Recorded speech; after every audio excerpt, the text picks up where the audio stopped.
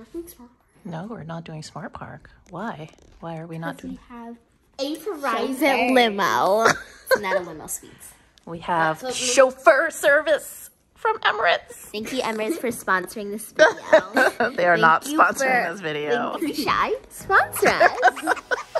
When you fly to Nairobi from New York, you have quite a few different airlines to choose from. Kenya Airways is the best option if you want a non-stop flight. But we decided to connect through Dubai since flying business class on the Emirates A380 has been on our aviation bucket list for a long time now. One of the perks of Emirates business class is that you get complimentary chauffeur drive service to and from the airport. So happy we finally get to fly business class. Last time we were in that long line and it was not fun. No, it wasn't. So, not a ride. Okay, I am unreasonably excited to use Clear again because we've been flying JetBlue so much out of Terminal 5 that we haven't used Clear in like six months or something. So, finally get to do it.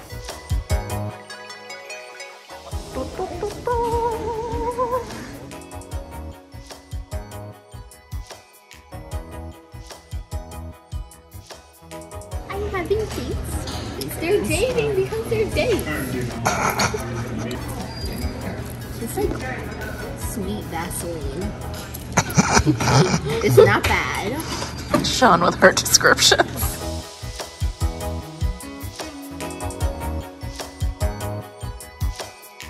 Can I see a fit check?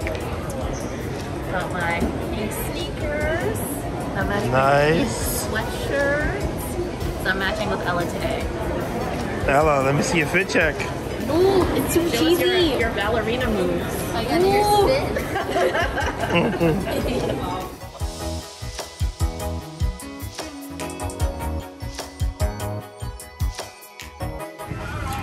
Tiny Pepsi and tiny, what's the other one? Seven up. Seven Up. Nice.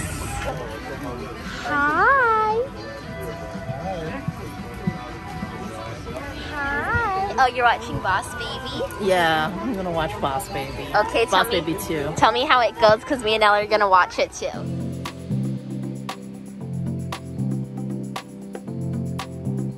After that long flight, we were ready to freshen up. The Emirates Business Class Lounge at Dubai International Airport has showers, which is nice, but if you really want to treat yourself, there's an even better option. You can book a treatment at the spa. Okay, so that was super awesome. I feel like a whole new person. Highly recommend doing this.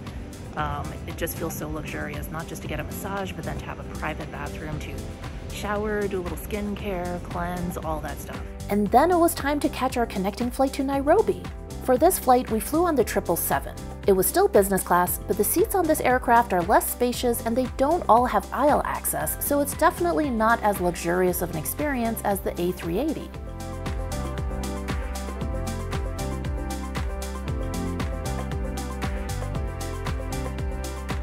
We landed in Nairobi just as the sun was coming up.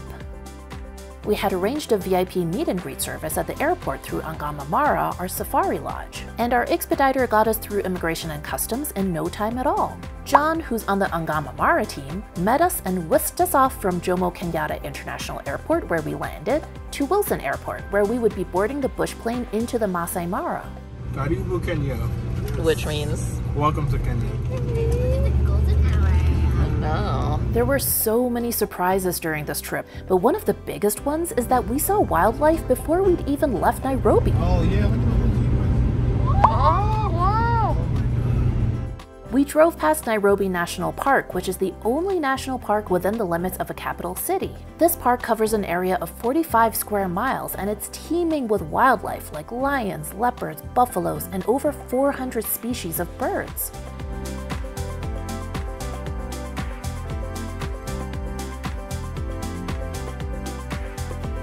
After about 45 minutes, we landed in the airstrip and we were met by our guide, who also happens to be named John. We got in the vehicle and set off towards the lodge. This John would be our companion for the rest of our stay, taking us out into the wilderness each day for new adventures. I don't think any of us were prepared for being surrounded by giraffes and zebras as soon as we got off the plane, but here they were. As we pulled up to Angama Mara, we got a very warm welcome from the staff. Hello!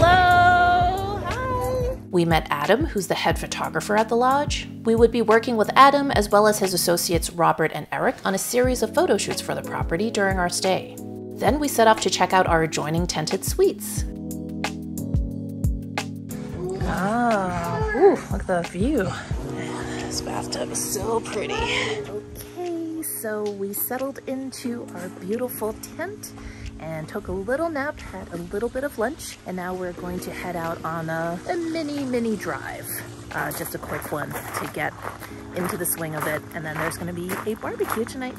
First, we stopped by the map room where John gave us an orientation before our first game drive, going over safety protocols. He showed us photos of some of the most famous animals of the Mara, including the real Scar, who was the inspiration for the lion of the same name in the Disney movie Lion King. In this room, there's also a cool magnetic map where guests and guides can create a visual log of the specific locations of the species they see each day.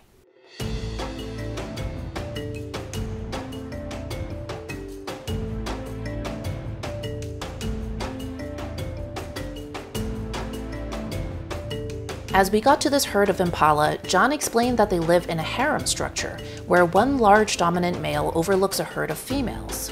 The one who is strong here goes and fight with him. If he wins, if he wins, he takes over the, the harem. But the males don't usually stay in power for long.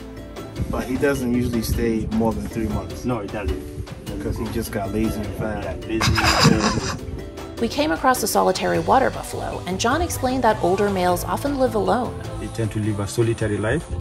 We say um, they're enjoying their retirement benefit, their retirement general. So all they do is play golf. And then we came across our first elephants. Can eat 720 pounds of food.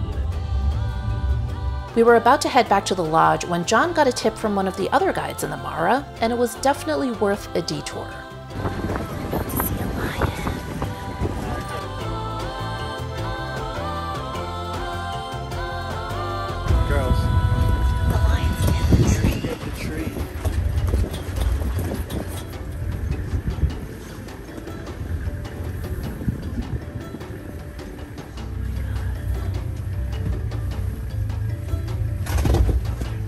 A lion on our first game drive ever was already cool, but then John got word of something even better a whole pride of lions.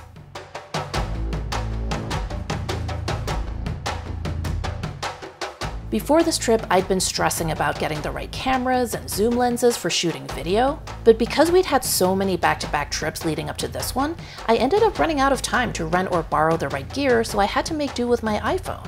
I shouldn't have worried. As you can see, the animals got so close that I didn't even need a zoom lens. All of this footage was shot on my phone.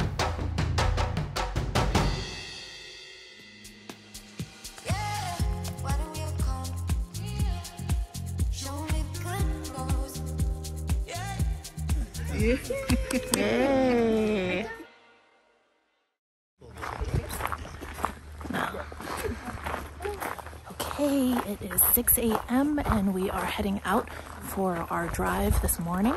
We're gonna try to basically do it at sunrise, get some great photos with Adam. So we're excited. Good morning.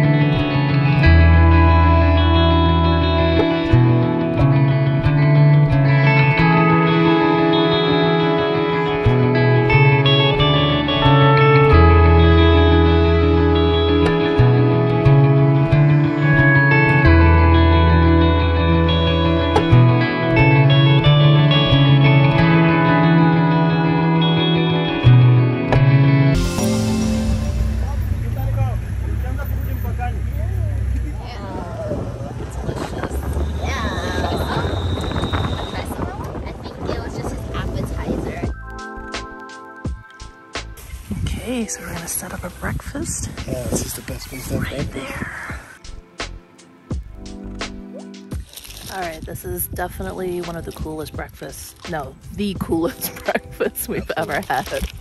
Look at this. the zebras, the wildebeest just chilling in the back.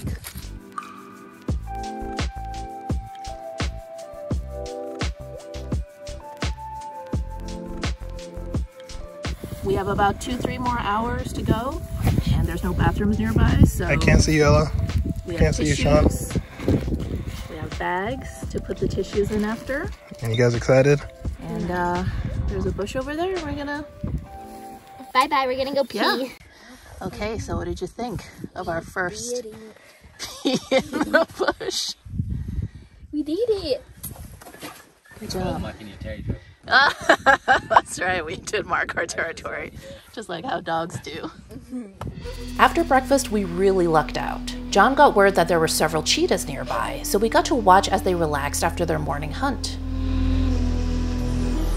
As if that wasn't cool enough, right after this, we got to see a jaguar. Jaguars can be pretty elusive, so we were really lucky to be able to see one.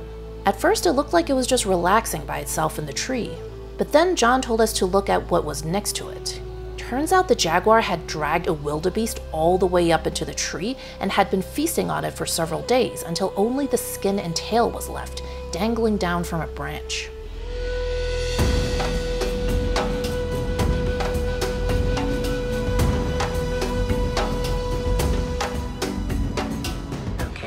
This is the official border into Tanzania. So that's Tanzania over there, and we're not supposed to go in this way.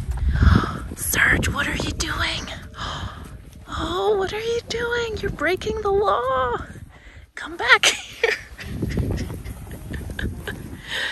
so, what's it like over there? Oh my God, it's a completely different country. the vibe's is a little different in Tanzania than it is in Kenya. I mean, a lot of people don't know that. Yeah, it just hits but, um, different, right? What's going on? And it's Made a little gonna fly tense. away- And it's not gonna fly away because we tucked everything in super tight. It's literally hanging out the side here. Oh, well, I'll sit on it.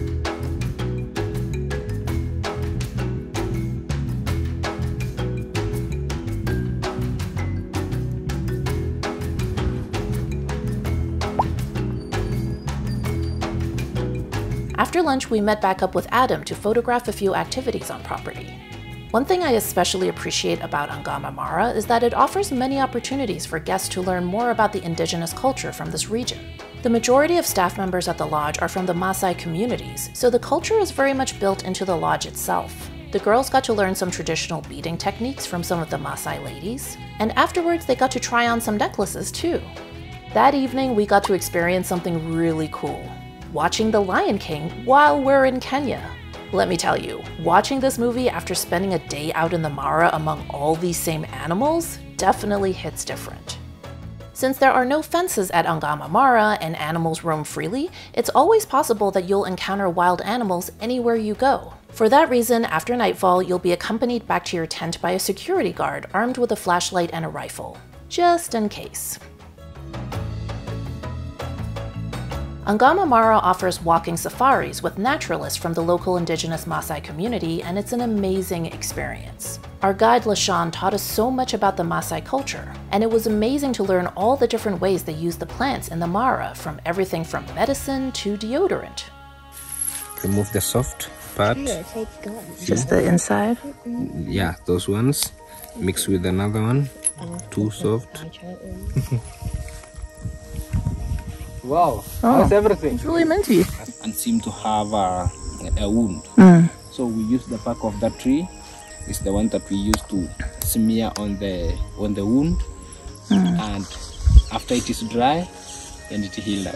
Oh, okay. yeah.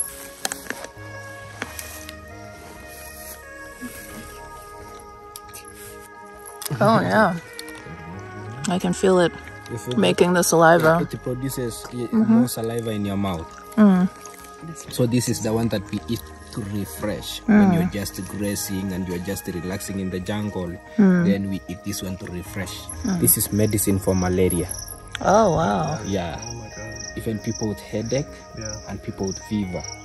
This is very good medicine for malaria. It is known by the whole Maasai nation. Yeah. So the name of the plant is rhino ink. So this red substance is what is used by the local Maasais as eye drops. And again, This is local lipstick for our little ladies. They use this to put in their lips, mm. and it turns the color to be uh, this orange.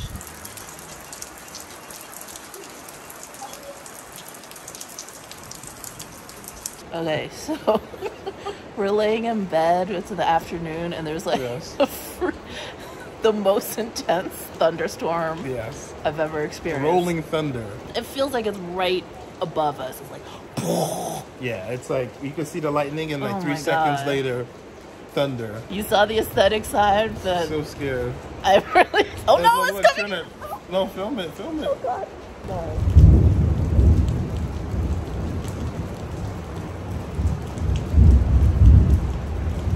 don't know why the girls haven't run in here yet. Like they should be terrified. Why are these girls so unbothered by this thunderstorm? We were very bothered. We were screaming. We were shaking. We were like, ah! Anyways. You did not want to see how I was acting. Ah! Daddy! Good morning, everybody. Good morning. So we're doing a little early morning photo shoot again. We've been starting each morning with coffee, hot chocolate tea, and these cookies. Tell them how the cookies taste. Very delicious. Very delicious, right? Yeah, we already went through one jar today, and uh, we're on to the second one.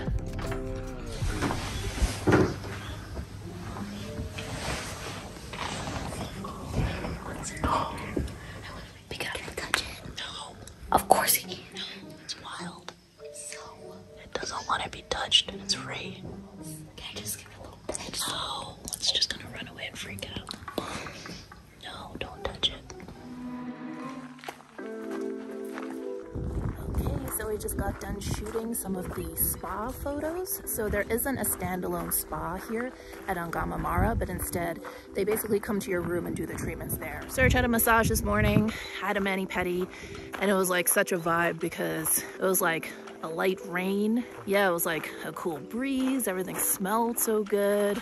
Like, definitely this morning was a vibe. All right, we're heading out on our first drive since we didn't go out yesterday. So we're happy to see John again. Plan is to see hippos and crocodiles. And rhinos. I know. Are you guys ready for rhinos? I don't know you're ready for that. No. So John is expecting his first baby any day now. Yeah, So as soon as he gets that call, I'm gonna leave the house. yeah, he's gonna leave us in the Mara. He's gonna run back home. The zebras are gonna give us the rest of the tour.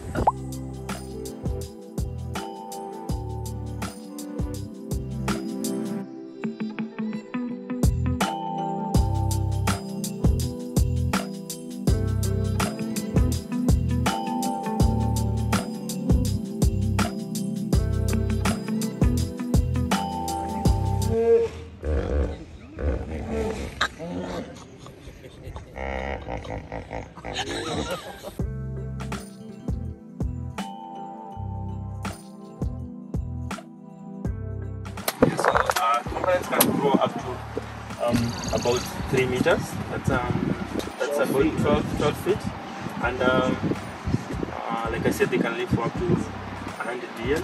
The only animals who among the only animals who see humans as food. Wow.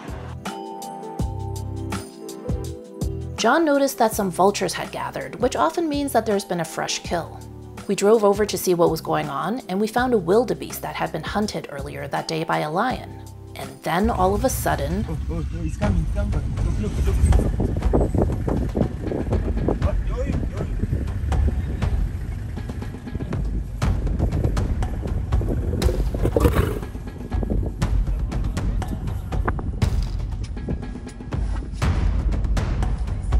John explained that the lion was mad at the vultures for eating his kill since he wasn't done with it yet. So that's why he was running over to chase them away.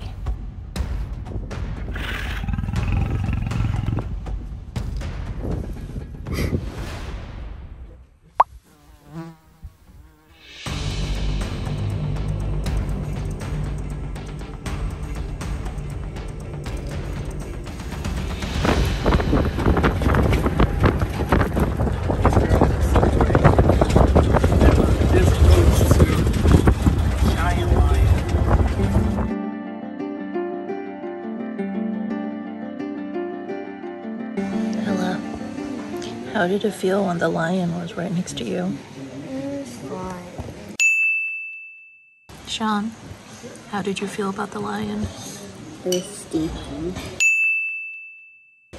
Stinky. Mm-hmm. I couldn't smell it, I don't think. And its balls are very saggy. Should we leave this part in the video? Yes. Angama Mara has an area called the Boma where you can watch the Maasai staff members do traditional singing and dancing, including the famous Maasai warrior ceremonies where men compete to see who can jump the highest. This event takes place at sunset, but the staff were kind enough to do one a little earlier in the day so that Adam and his team could shoot it while there was more light. Serge's parents are from Benin in West Africa, and on her last trip back home, his mom had bought these beautiful dresses for the girls. We'd been saving them for a special occasion, and this was perfect.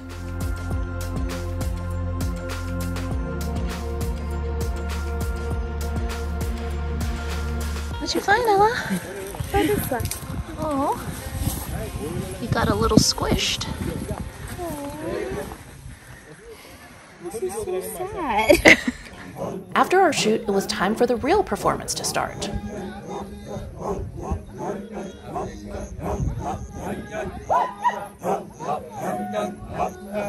That evening, we opted for a room service dinner instead of dining in the guest area. I was expecting them to just bring in some food on a tray, but instead they brought an entire dining table and chairs to our tent, and they set it so beautifully. Sean, what you doing? I am making aesthetic lemon juice with ice water in my mason jar. Okay. I thought you were gonna make me a cocktail. I thought that was the plan. No, I'm embracing my inner Nabella. Okay, it is 5 a.m. Had a super early wake up call today. Actually, we're um, not. I I don't actually feel fine. But Free today, we're heading. Where are we going, Serge? We are going hot air ballooning. So excited. It's gonna be our first time ever doing this, and amazing to do it over the Masai Mara. So it should be really cool.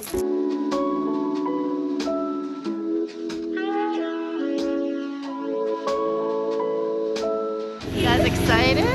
yeah. All right, so this is our first time doing hot air ballooning. So they gave us these seat belts. So you put the seat belt on, and then this part is going to clip on into the hot air balloon to keep you safe. And uh, it's kind of weird. You're going to have to like lay down first, and then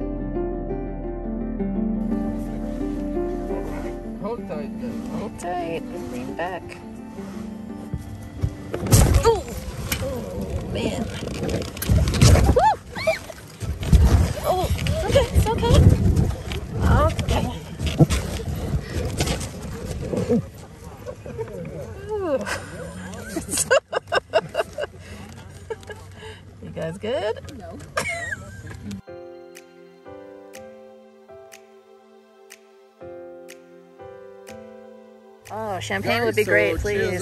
Champagne. Thank you. Survivors get to drink, to drink some champagne. We keep this uh, tradition going since 1783, the first balloon flight in Paris, France. They have crash landed at the outskirts of Paris. They thought that aliens come to invade Earth. so next time they flew, they brought some champagne with them. And we celebrate champagne ever since. Right. So cheers everyone. Cheers.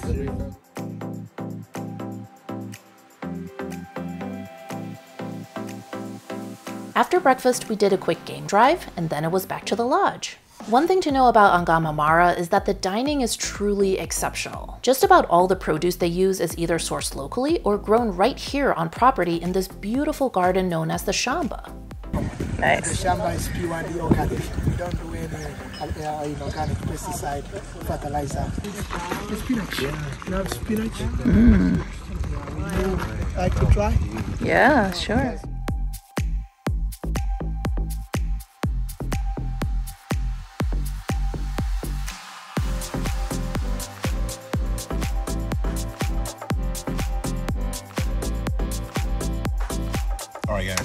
At the garden. Everything's organic, fresh stuff, fresh fruits. And the garden here is so lush. Like I can't believe the, the amount of things that they're able to grow here. Yeah, so fresh. Everything's organic. Okay, we just have to pause here and acknowledge our butler George, who took absolutely incredible care of us.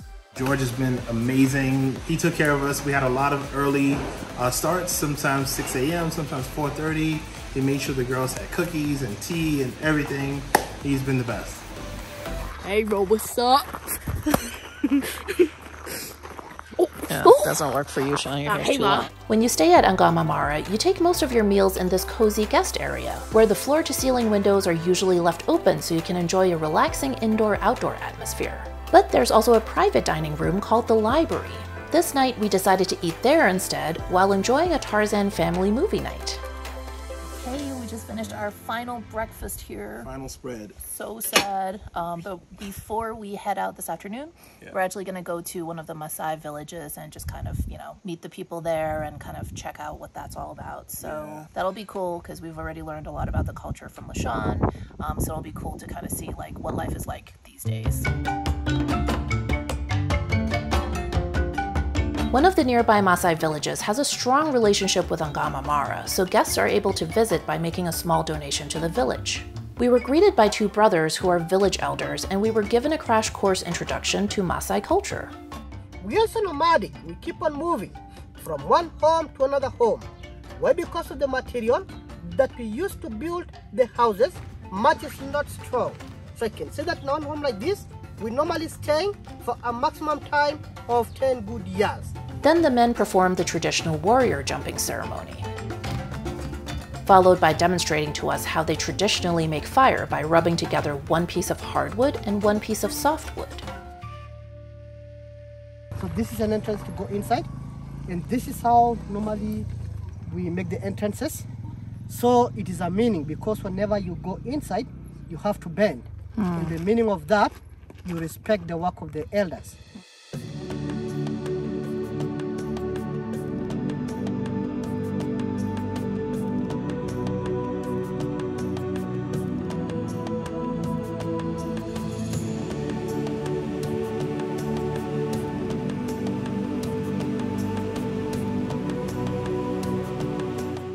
End of the visit, the women of the village sang a few songs to welcome us.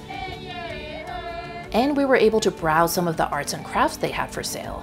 Just a heads up, the prices they ask for here are going to be considerably higher than what you'd find at the Maasai market in Nairobi, for example. Even though they sell very similar things, and not everything is actually handmade here in the village. In these kinds of situations, you can either get into some serious negotiating, or you can elect to just pay the tourist tax and consider it a donation to the village. It really just depends on your personality. Serge handled the bargaining, so he was able to get the prices down a bit, and the girls went back to the lodge with some very pretty new earrings. And then, sadly, it was time to check out of Angama Mara and say bye to everyone. These are all the girls' drawings. Uh, sad to leave John. Hopefully, we'll be back soon. We're coming back tomorrow. But we couldn't leave without saying goodbye to the incredible photography team at Angama Mara. It was such a pleasure working with them on this trip. Unfortunately, Adam wasn't at the photo studio when we stopped by, but we got to say goodbye to Robert and Eric, who had bonded so much with the girls on this trip.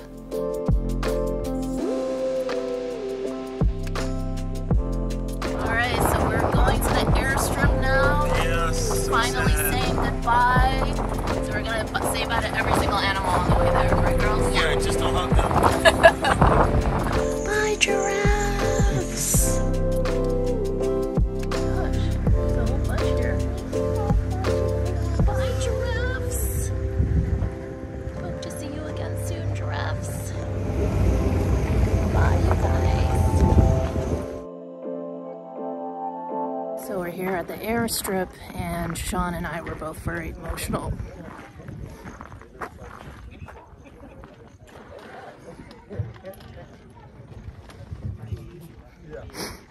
Yeah, we're really gonna miss this place. This was really beautiful, very life changing.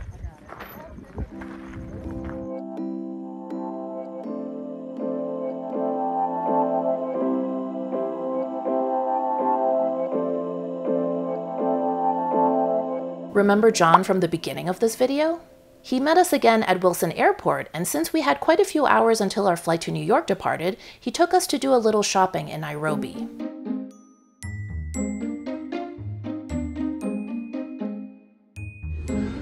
Serge, normally we never want to buy anything on No. trips because we pack so late. But this, This trip, I, I want it all. I- I'm also seriously considering checking bags for like once, even though we don't need to. Yeah, this is amazing. I want it all. That's for Ella. So cute. Really, she went, I got that. Does it have a baby too? Yes. Let me see. Look at it, so big. Little baby on the back. I got this bracelet Uh-huh. and this calendar. This really Love things. We actually saw them out on the drive, right? All right, we're here in Nairobi. We came to this really cool gift shop. It's called Lovebird Community Gift Shop.